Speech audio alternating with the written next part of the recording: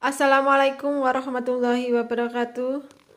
Ketemu lagi dengan mata pelajaran matematika. Kali ini kita bahas tentang pembagian polinomial dengan bentuk x min a. Kita ambil contoh 2x pangkat 3 ditambah x pangkat 2 dikurangi 4x dikurangi 12 dibagi x min 2. Ini dapat kita lakukan dengan dua cara. Cara yang pertama adalah dengan cara bersusun bersusun. Ini sebenarnya tidak asing. Sama dulu kita namakan dengan cara porogapit. Ya kita porogapit itu 2x pangkat 3 min 4 min x kuadrat min ini plus ya plus x kuadrat min 4x min 12 kita bagi dengan x min 2 caranya kita lihat koefisien yang depan. Ini koefisiennya 2 ini koefisiennya 1 supaya sama maka ini kita kalikan dengan 2 kita lihat variabel ini x pangkat 3 ini variabelnya x pangkat 1 supaya sama maka ini kasih dikalikan dengan x pangkat 2 sehingga ini kalau kita kalikan dengan x menjadi 2x pangkat 3 Kemudian ini dikalikan dengan min 2 menjadi min 4x pangkat 2. Kita kurangkan. Ini habis ya, dikurangi habis tinggal ini 1, ini ada koefisiennya adalah 1 dikurangi min 4 koefisiennya. 1 dikurangi min 4 min sama min jadi plus 1 ditambah 4 yaitu 5x pangkat 2 ini turun sehingga ini min 4x ini min 12 kembali lagi seperti tadi kita lihat koefisiennya ini 5 ini koefisiennya adalah 1 supaya sama ini positif berarti ini ditambah. Kalau ini negatif ya kita tulis negatif. Kalau ini positif kita tulis positif. Positif 5 X pangkat 2 ini X pangkat 1 supaya sama jadi ini 5X sehingga ini kalau dikalikan 5X kali X menjadi 5X kuadrat. 5X dikali dengan min 2 jadi min 10X kita kurangkan lagi seperti tadi ini habis.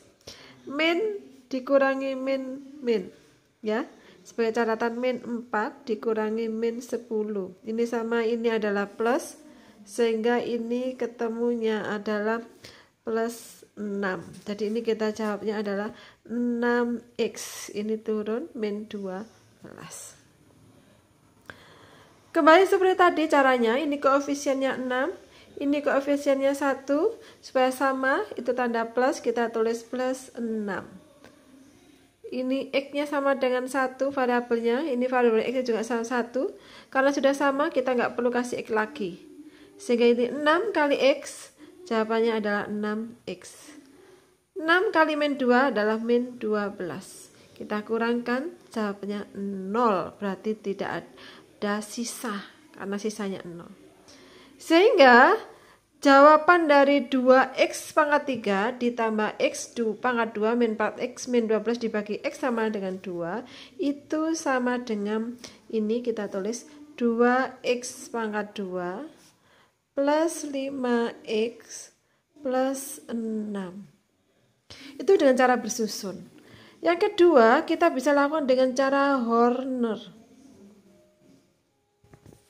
Kita lihat pembaginya adalah X min 2 sama dengan 0 sehingga pembaginya adalah X sama dengan 2 kita tulis cara Horner seperti kemarin yang sudah kita pelajari. Kita lihat koefisiennya. Di situ eh, soalnya tadi adalah 2x pangkat 3 plus x kuadrat min 4x min 12 kita lihat ini angkanya adalah 2 ini angkanya adalah 1 ini angkanya min 4 ini min 12 pembaginya adalah X sama dengan 2 turunkan 2 2 kali 2 4 1 tambah 4 5 ini ditambah ya.